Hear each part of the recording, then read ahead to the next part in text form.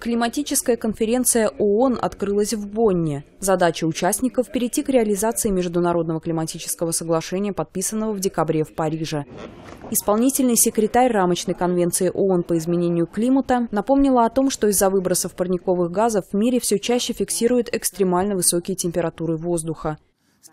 Вместе с тем она выразила надежду, что страны в скором времени ратифицируют соглашение. Оно было подписано в апреле на специальной церемонии в зале Генеральной Ассамблеи ООН. Почему я думаю, что мы будем продвигаться быстро? Потому что в этом году степень угроз стала полностью понятна, и мы получаем все больше информации от ученых. Министр экологии Франции считает, что климатическая конференция в Бонне проходит в критический и в то же время правильный момент. Мы стали свидетелями уникального исторического события. После того, как Парижским соглашением была заложена основа, у нас, наконец, появились международные правила применения этого закона.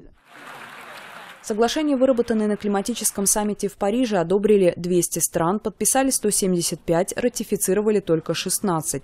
Чтобы договор вступил в силу, его должны ратифицировать не менее 55 стран, чьи совокупные выбросы в атмосферу составляют 50% от общего объема. Цель соглашения – добиться того, чтобы повышение средней температуры на планете не превысило показатель доиндустриального периода больше, чем на 2 градуса по Цельсию.